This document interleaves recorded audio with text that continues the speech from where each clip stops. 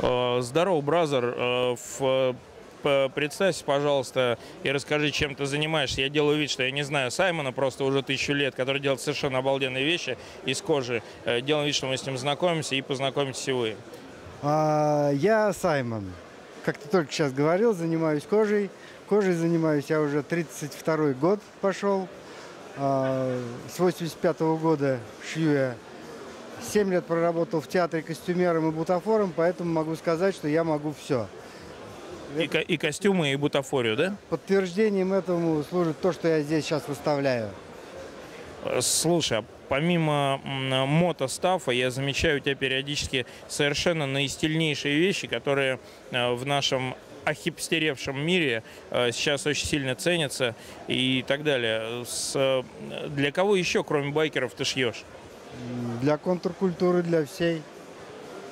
То есть, э, кто бы ни пришел с идеей такой, что знаю, что хочу, но не знаю, где взять. Это все мои клиенты, поэтому как бы отказа никому не бывает. Если человек приходит и говорит, что он где-то в интернете увидел и хочет такое же, это не ко мне. Мне это не интересно. А вот когда человек говорит, что хочу, но не знаю, где взять, это ко мне. А ты сейчас говоришь про носибельные вещи, про одежду стильную. Вообще про все. Это в основном работает моя жена Маруся. То есть это ее модели, это ее разработки, э, ее клиенты. То есть э, вот. То есть стилем у нас Маруся завидует.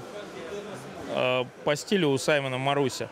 Слушай, а скажи, чем для тебя, вот как для мастера, как для художника, как для бизнесмена, чем для тебя являются подобные выставки? Но подобная выставка это всегда не хочется быть банальным, но как глоток свежего воздуха. То есть вот какое-то время сидишь, сидишь в мастерской, погряз, увяз, э, заплеснел, и тут приходишь, там, с этим обнялся, того по плечу похлопал, тебя кто-то там толкнул, и вроде как-то вот жизнь продолжается. Вот это вот, конечно, очень важно. А помимо тусовок э, по бизнесу, по продажам, по каким-то новым контактам, э, движуха, это насколько она полезна для тебя? Ну, в принципе, она происходит. То есть это происходит. То есть и появляются новые клиенты, которые раньше меня не знали. Старые вспоминают. Э, Причем с такими глазами, типа того, опа, ты еще и это делаешь. Я говорю, а что я не делаю? Назови мне хоть одну вещь, что бы я не смог сделать. Ну и вот в таком вот духе начинаем уже общаться на другие интересующие темы. Слушай, твое мнение, а вот э, мотозима это рисковый был проект, потому что обычно мотовыставки, они все, э, они, они все э, проводились именно весной, правильно, перед сезоном. И вдруг бац, среди зимы как бы э, э, про- проходит такое мероприятие. Как думаешь, успешно это получилось? А, Ну, то, что это получилось успешно, это однозначно. Можно посмотреть на зал. А так, я думаю, что э, эта мотозима, она как полдник такой. Вот знаешь, в лагере полдник. То есть до ужина еще далеко, а тут раз тебе две печеньки и стакан киселя. И так тебе дата, что ты просто...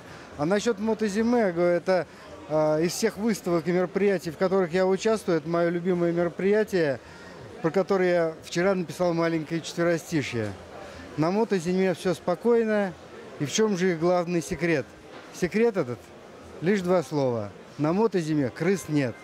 То есть здесь я могу оставить свой прилавок, уйти курить, с кем-то болтать, вернуться абсолютно не думая о том, что у меня какую-то вещь потянут, и я не смогу найти концов. Вот это, наверное, самый большой плюс этого мероприятия. Мотозима Forever.